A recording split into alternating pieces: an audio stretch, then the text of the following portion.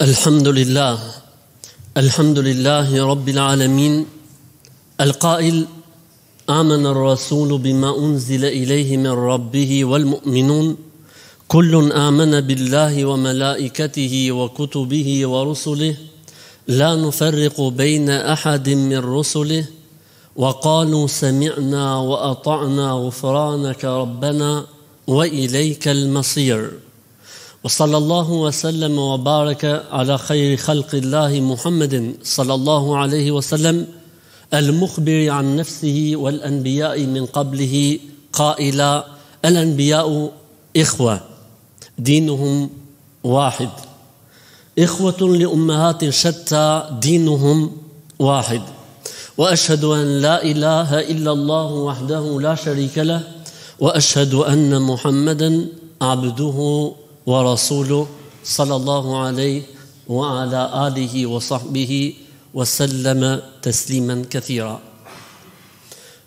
Me emrin e Allahut, të Gjithëmëshirshmit, Mëshiruesit, Allahun, Zotin e vetëm të vërtetë, e falënderojmë.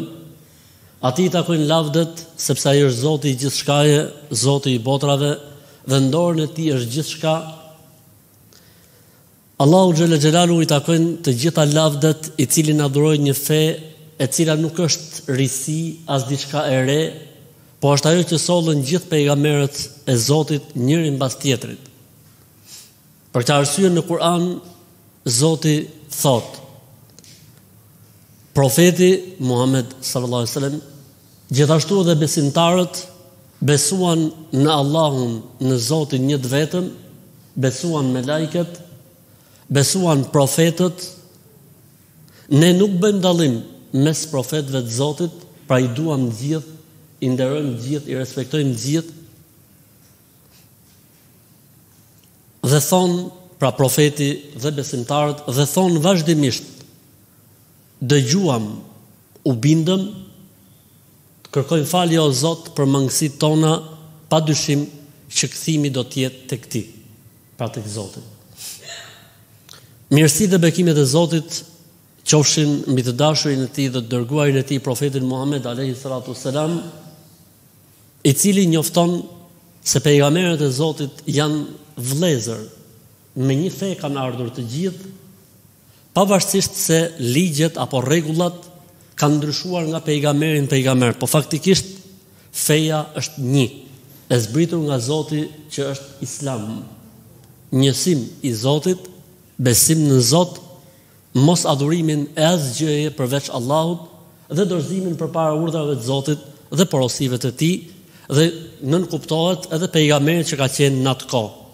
Ardhja e pejgamberit më pas thjesht ka shfuqizuar pejgamberin pararendës, po jo se e ka mohuar atë apo e ka nxjerrë të pavlefshëm.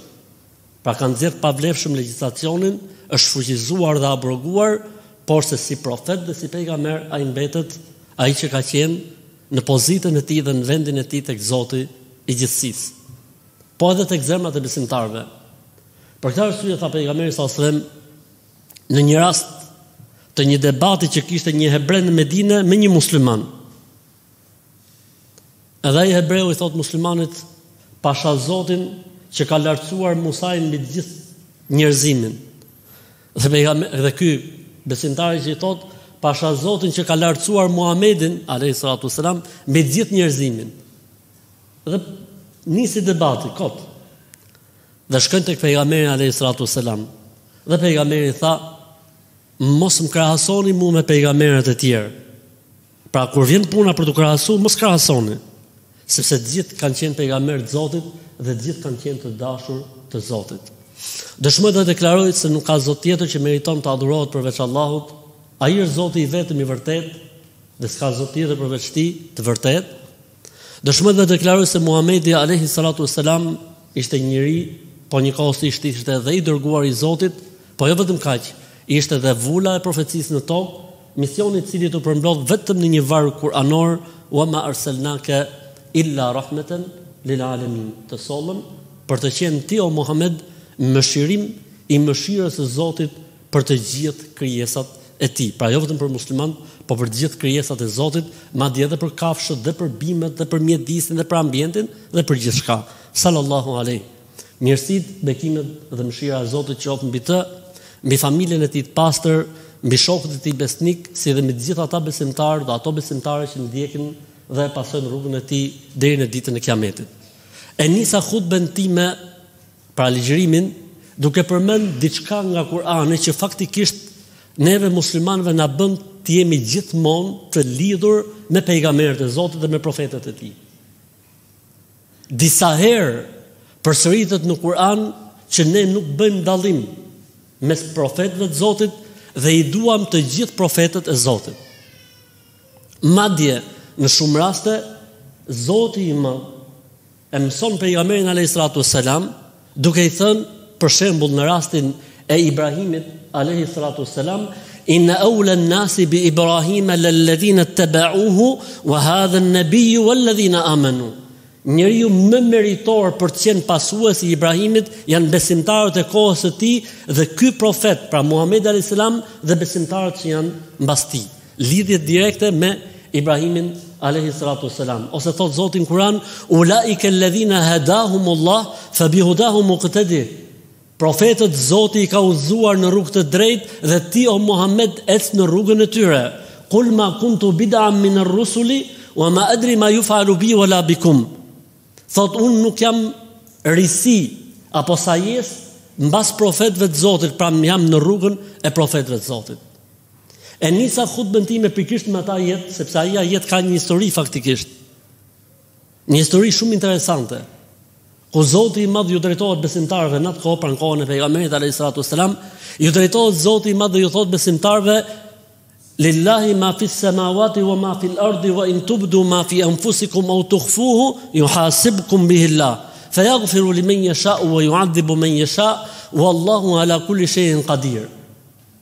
e Zotit është çfarë është në qiej dhe në tokë. Zoti e di se çfarë keni ju në mendjet tuaja dhe në zemrat tuaja. E do të marrë në llogari, e do t'ju marrë në llogari për çdo gjë që ju edhe e mendoni. Pastaj ai fal kë të dojë dhe mëshiron kë të dojë Ai është i gjithëpushtetshëm dhe i plotfuqishëm për gjithçka. Faktikisht ky ajet kuranor, kur i zbriti pejgamberit alejhi salatu selam dhe ishte me shokët e tij, ranë gjunjë njerëzit, ranë gjunjë. Thanë o pejgamber i Zotit shumë e rëndë. In tubdu ma fi anfusikum aw tukhfuh. Edhe për atë që e mendoni, edhe për atë që s'e thoni, Zoti do t'ju marrë në llogari për edhe për mendimet që keni. Shumë e rëndë. Sahabët thanë, o pejgamber i Zotit, shumë e rëndë. Shumë e rëndë. Dhe pejgamberi alejhi salatu selam që ju thotë, duhet të themi të gjithë së bashku tani, pejgamberi ju thotë shokëve të tij, sami'na wa ata'na ghufranaka rabbana wa ilayka al-masir. O Zot, dëgjuam çfarë na the ti, u bindëm, na fal o Zot, tek ti do të kthehemi. Dhe menjëherë sahabët e thanë këtë fjalinë. Dëgjuam, u bindëm, na fal o Zot, tek ti do të kthehemi. Menjëherë mbas kësaj zbriti lehtësimi. Ajeti që unë e lexova dhe ajeti tjetër që thotë i Madhi Zot, la yukallifu Allahu nafsan illa wusaha. Allahu nuk e ngarkon njeriun jashtë mundësive të tij. Mendimet që ka njeriu, njeriu nuk i kontrollon dot. Çfarë ka njeriu brenda vetes tij nuk është nën kontrollin e tij. Dhe Zoti solli lehtësimin, cili është lehtësimi? Allahu nuk e ngarkon njeriun jashtë mundësive të tij. Njeriu do të merret në llogari vetëm për atë që bën, jo për atë që mendon. Inna Allaha afa an ummati ma haddathat biha nafsuhu, nafsaha ma lam tatahaddath aw ta'mal bih. Allahu e ka falur umetin tim, tha pejgamberi alayhi salatu wassalam, për atë që e mendon në veten e vet, përderisa s'e deklaron ose nuk e vepron. Thjesht duheshe pak durim, qetësi dhe dorëzim. Zoti solli sprovën dhe kjo sprovë nuk zgjati më shumë se disa minuta erdhi lehtësimi. Thjesht Zoti i Madh deshi me na tregu neve muslimanëve që do t'i lexojmë këto ngjarje dhe do t'i dëgjojmë sa fort na don neve si njerëz. Se po të dojte Zoti i Madh, edhe për menimet që na vijnë që s'janë n'kontrollin tonë, do të jepshim llogari. Po kjo do të ishte shumë e vështirë për njeriun. Kështu që ndodhin disa ngjarje në jetë që me të vërtet duken të rënda dhe të vështira, po faktikisht aty ndodhet dhe urtësia e Zotit dhe sekreti i Zotit, për këtë arsye besimtari duhet t'i marri gjërat gjithmonë me qetësi.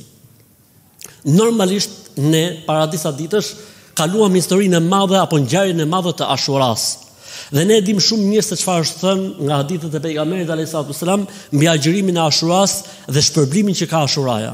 Mirëpo mësimet që ka brenda Ashuraja janë shumë më të rëndësishme, sepse ajo përderisa përsëritet vit për vit do të thotë që muslimani dhe muslimania vazhdimisht duhet të kthehet tek mësimet e Ashuras. e kësaj dite të madhe dhe kësaj dite të veçantë të Zotit Xhele Xhelaluhu. Dhe një nga mësimet më të mëdha që na jep neve dita e Ashuras është se na lidh me pejgamberët e Zotit. Dita e Ashuras ka qenë ditë që e kanë madhëruar dhe vlerësuar të gjithë pejgamberët e Zotit. Dhe ka dashur i madhi Zot që në ditën e Ashuras të shpëtojë Musai alayhi salatu wassalam dhe të mbytet Firauni. Nga tiranët më të çuditshëm që mund të ketë parë historia e njerëzimit. Pikërisht ditën e Ashuras mbytet dhe Zoti e nxjerr trupin e tij mbi det që ta shohin njerëzit dhe Musai alayhis salatu selam shpëton. Për të na dhënë neve mësimin e rëndësishëm se kush është me Zotin nuk humb kurrë. Dhe kush është përballë Zotit dhe kundër Zotit, ai nuk ka për të parë hajrin vetes tij jetës së tij dhe nuk ka për gjet shpirti i tij qetësi dhe lumturi as në këtë botë as në botën tjetër. Edhe nëse n'dukje edhe nëse ndukje apo në aparencë edhe nëse n'dukje apo në aparencë duket sikur punët po i shkojnë mirë, një njeriu që është kundër Zotit apo përballë Zotit, apo është pozicionuar për Për të qenë kundër Zotit, Allahu Xhele Xhelaluhu këtij njeriu ia merr dritën e shpirtit. E nëse njeriu është n'errësirë, sado që të ketë të mira materiale, sado që të ketë bekime, ky njeri kurrë nuk do të gjejë qetësi. Dhulumatun ba'duha fauqa ba'd. Zoti thotë si shembulli i errësirave mbi errësirat. Kurrë nuk gjen dritë. Fa men lam yaj'al Allahu lahu nuran fa ma lahu min nur. Kujt nuk i jep Zoti dritën e tij, kurrë nuk ka për të pas dritë, edhe nëse jeton në dritë të diellit, edhe nëse është i mbushur me drita elektrike apo me drita energjetike. Se drita e vërtet është drita e Zotit. Drita e vërtet është drita në zemër që fiton njeriu prej Allahu Xhele Xhelaluhu. Mendoi Firauni se mund të përballet me Zotin e gjithësisë. Mendoi Firauni se mund të përballet me Musain alayhi salatu selam. Mirëpo dështoi me sukses. Dhe çdo njeri që rreshtohet kundër Zotit apo kundër profetit Muhammed alayhi salatu selam, dështimi i tij do të jetë i suksesshëm Në përgjithësi Zoti i madh këta njerëz i ka bërë shembull që ne të kuptojmë se kushdo që përballet apo rreshtohet kundër Zotit, Zoti i madh do ta bëjë shembull për njerëzimin. Kjo ngjarje, siç e thashë edhe më herët, na lidh me pejgamberët e Zotit, se vetë pejgamberi alayhis salam kur u pyet në Medine Dhe i nxiste njerëzit për të agjëruar Ashuran qysh në Mekë, pra agjërimi i Ashuras ka fillu qysh në Mekë. Dhe muslimanët në Medinë agjërojshin Ashuran. Njoftohen muslimanët në Medinë se hebrejt e Medinës agjëronin. Dhe i pyeti pejgamberi alayhis salam, pyetini pse agjërojnë? Thanë hebrejt e Medinës, Ne agjërojmë ditën e Ashuras, sepse është dita që Zoti i madh e shpëtoi Musain alayhis salam dhe mbyti Firaunin. Pejgamberi alayhi salatu sallam tha, "Nahnu, dëgjoje se është e bukur, nahnu ehaqqu bi Musa minhum." Ne jemi më meritorë për Musain se çdokush tjetër. Vazhdojeni tha agjërimin e Ashuras. Vazhdojeni agjërimin e Ashuras. Madje tha po të jetoj dhe vitin tjetër, unë do ta agjëroj edhe ditën e 9 të Ashuras. Pra 9 edhe 10. Pra ditën e Ashuras edhe një ditë përpara. Kjo ngjarje faktikisht na mëson se zullumi dhe padrejtësia Vjen një moment që kur trashen shumë, këputen dhe bien. Nuk ka pas zullumqar më të madh se sa zullumi i Firaunit. Ai thoshte ene rabbukumul a'la, unë jam Zoti vetë. Allahu na ruajt. Në fund fare përfundoi në det Dhe në ato momentet e fundit kur po mbytej, tha Amentu biledhi amenet bihi benu Israil. Tha kam besuar në Zotin që kanë besuar edhe izraelitët. Mirëpo nuk i bëri dobi, sepse njeriut nuk i pranohet pendimi nëse shpirti i vjen në fyt. Firaunit i erdhi shpirti në fyt, e kuptoi vdekjen Dhe në atë moment nuk bën më dobi pendimi. Pejgamberi alayhi salatu sallam ka thënë: "Yuqbalu tawbatu min ahadikum ma lam yugharrir." Pranohet pendimi prej gjithë secilit derisa nuk i ka ardhur shpirti në fyt. E nëse vjen shpirti në fyt dhe njeriu fillon dhe sheh diçka tjetër, del nga parametrat e kësaj bote, normalisht që në ato momente nuk pranohet më pendimi. Kjo ngjarje e madhe na tregon se mënyra më e mirë për ta falënderuar Zotin kur na jep Zoti të mirë është me bërë adhurim. Musa alayhi salatu sallam këtë ditë e agjëronte si formë falënderimi për Allahun. Pejgamberi alayhis salam e agjëronte se kështu i kishte thënë Zoti si urdhër i Zotit për të agjëruar këtë ditë. Po kur mori vesh se Musa alayhis salam e agjëronte këtë ditë si falënderim për Zotin, tha edhe ne do ta vazhdojmë këtë formë falënderimi për Zotin. Pejgamberi alayhi salatu selam kur e pyetën pse agjëron ditën e hënë, tha unë agjëroj ditën e hënë tha se kam lind ditën e hënë. Po mirë tha dikush atëherë lejohet me u festu ditëlindja. Sepse pejgamberi përderisa tha kam lind ditën e hënë prandaj po agjëroj. Themi kjo është e veçantë për pejgamberin alayhi salatu selam. Edhe ai nuk agjëronte vetëm atë ditë, po ai çdo të hënë agjëronte.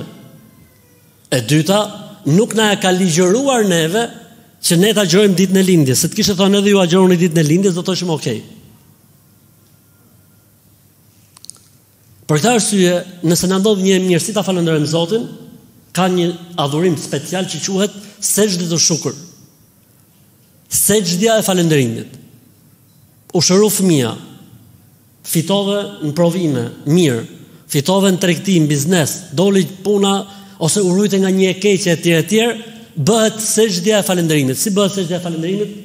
Sexhdja e falënderimit nuk ka asnjë lloj kushti nga kushtet e sexhdes së namazit. Sido që të jesh, Allahu Ekber nuk ka kusht drejtimin e kiblës, nuk ka kusht abdesin, nuk ka kusht asgjë. Allahu Ekber një sexhde vetëm. Çfarë themi kur të jemi aty në sexhde? Atë që themi në sexhden e namazit. Subhana Rabbijel ala, Subhana Rabbijel ala, Subhana Rabbijel ala. Prej mësimeve të rëndësishme që na jep neve, ajo ka shumë, po unë do të ndalem tek kjo që është e para fundit, pastaj tek një e fundit. Është se Musa alayhi salatu selam i drejtohet popullit të vet në një moment të vështirë që Firauni filloi kositjen e njerëzve, Wa qala Musa li qaumihi istainu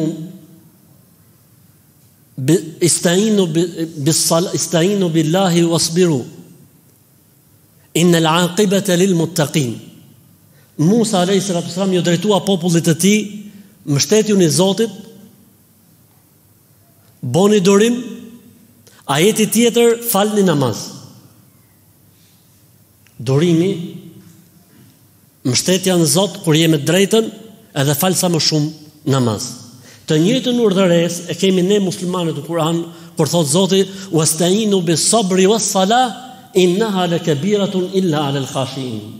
Kur të keni vështirësi në jetë, bëni durim, falni namaz, se me të vërtetë Zoti do t'u japi sukses dhe kjo është shumë e lehtë për njerëzit e devotshëm.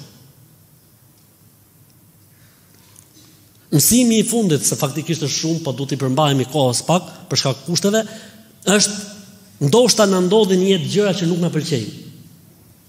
Po aty Zoti i Madh mund të ketë fsheh të mirën.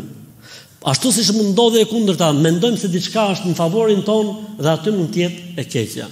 Për këtë arsye besimtari në përgjithësi, në veçanti, në çdo detaj gjëra duhet t'ia lejë Zotit në dorë. Tha Zoti në Kur'an, "Wa asa an takrahu shay'an wa huwa khayrun lakum, wa asa an tuhibbu shay'an wa huwa sharrun lakum, wa Allahu ya'lamu wa antum la ta'lamun." Ndoshta e urreni diçka po aty është e mira për ju. Ndoshta ju e pëlqeni diçka po aty është e keqja për ju. Allahu e din sekretin e gjërave e ju nuk e dini.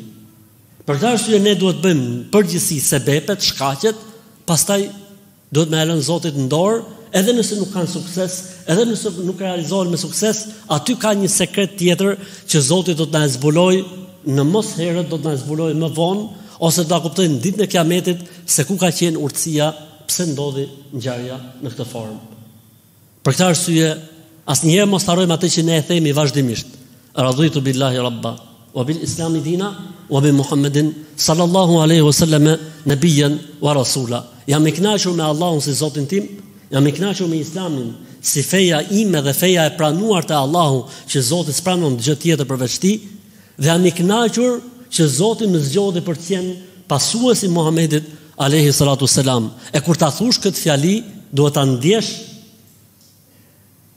sidomos në momentet e vështira dhe në momentet e hidhëta dhe në momentet e tharta të jetës. Të jesh i kënaqur me Zotin e gjithësisë dhe të jetë gjëja e parë që del nga goja jote, nga shpirti yt, të jetë elhamdulillah. Falënderimet i takojnë Allahut. Vëllezër besimtarë dhe motra besimtare, kjo fe, Islami, është një fe e cila në principin e saj ka qetësinë, durimin dhe butësinë. Një nga emrat e Zotit është Ar-Rafiq, i butë. Inna Allaha Rafiqun yuhibbu ar-rifqa fi kulli shay. Allahu është i butë dhe e do butësinë në çdo gjë të jetës. Pra Zoti i Madh don prej nesh që të jemi të butë edhe në mënyrën se si reagojmë në momente të caktuara kur ndoshta me të vërtetë dikush prek dinjitetin tonë, fenë apo besimin tonë. E them këtë gjë sepse të gjithë jemi dëshmitarë të faktit se si në një nga le të themi lokalet e Tiranës ku dikush tallet me ezanin dhe ata njerëz që ishin aty prezent filluan të qeshnin dhe të talleshin dhe ata faktikisht ne bëmë një le të themi denoncim publik dhe kërkuan prej organeve kompetente që të ndërmarrin masa Dhe me sa duket kjo ka funksionuar shumë mirë dhe kemi pas një komunikim të drejtpërdrejtun vetë kam pas me djaloshin, i cili shprehu keqardhje faktikisht dhe Zoti e shpërbleftë që shprehu keqardhje, por i thashë ti duhet të kërkosh ndjesë që të qetësohen edhe të mbyllet kjo gjë, domethënë sepse njerëzit janë të shqetësuar. Megjithatë ne po presim që ai ta bëjë një kërkim ndjese qoftë edhe në Facebook, të thotë kërkoj ndjesë nëse kam prek njerëzit. Pata një komunikim, komunikim të drejtpërdrejtë me faqen e lokalit, nëse nuk ja kanë hakeruar, edhe ju thashë që thjesht duhet kërkoni ndjesë, kaq. Vetëm duhet kërkoni ndjesë. dhe u bënë gjithë këto ditë dhe akoma nuk ka kërkim ndjese, por përkundrazi vazhdojnë n'atë linjë duke nxitë edhe duke bërë justifikime dhe shfajësime. Po mirë, çfarë duhet të bëjmë ne si muslimanë? Ne si muslimanë këtë çështje duhet ta ndjekim ligjërisht. Ne distancohemi nga çdo lloj veprimi që mund të ndërmarrë X-i apo Y-i prej njerëzve kundrejt dhe karshi ngjarjes në fjalë. Ne kemi lirinë e fjalës dhe ne kemi ligjin të cilit i drejtohemi në situata të tilla. Unë ju kam thënë të gjithëve kush më ka pyetur që ne këtë çështje do ta ndjekim ligjërisht. Dhe kjo është forma e duhur dhe e vërtetë dhe e mirë se si mund të ndiqet kjo çështje. Ne mendojmë dhe besojmë se dikush ka bërë një veprim të pahijshëm, të tallësh me ezanin, të tallësh me Islamin, Është e rëndë dhe askund nuk pranohet, është një nxitje e islamofobisë, është nxitje e urrejtjes ndërfetare, e tjere tje shumë arsye dhe problematika që ka ky akt dhe ky veprim dhe mënyra më e saktë dhe më e drejtë që është kjo çështje të ndiqet ligjërisht. Po ata mund të denoncojnë, është e drejta e tyre, nuk ka asnjë lloj problemi. Nëse ata mendojnë se prononcimi im në Facebook ka prekur të drejtat e tyre ligjore, është plotësisht e drejta e tyre të denoncojnë në polici, në prokurori, absolutisht. Ne jemi të hapur. Statusi është aty në Facebook, siç është bërë ditën e parë pa asnjë lloj ndryshimi. Edhe ne jemi te kjo fjalë. Nëse këta njerëz, qoftë djaloshi, Qoftë këta të lokalit kërkojnë një ndjesë publike për prekjen e zemrave të besimtarëve për këtë lloj situate, kaq është gjëja, kaq asgjë tjetër. As nuk duam t'i takojmë, as të na takojnë. Thjesht kërkojnë ndjesë për atë që kanë bërë. Nëse ata mendojnë se s'kanë bërë asgjë, takimi jonë do të jetë në gjyq. Nëse janë me hakun dhe me të vërtetën, Zoti ua bëftë mbarë. E nëse nuk janë me hakun dhe me të vërtetën, atëherë le të bëhet mësim për gjithë tjerët që mos të ketë bir nëne në këtë vend që tallet me fenë e Zotit apo me simbolet e Islamit. Sepse jemi me drejtën tonë, jemi në hakun tonë dhe s'i kemi hy as kujt në hak. Dhe kurrë inshallah nuk kemi për t'i hy kujt në hak. Dhe nëse dikush na hyn në hak, ne do ta ndjekim në rrugë ligjore. Absolutisht në asnjë lloj formë tjetër dhe ne distancohemi nga çdo lloj deklarimi apo deklarata apo veprimi apo kundër veprimi që mund të marrë dikush, unë nuk mbaj përgjegjësi për askënd për veprimet, për deklarimet që ai bën. Por ne rrim tek kjo që thamë. Nëse ata nuk kërkojnë ndjesë, Ne do ta ndjekim çështjen ligjërisht dhe me kaq mbaron historia jonë dhe ia kemi lënë Zotit këtë çështje.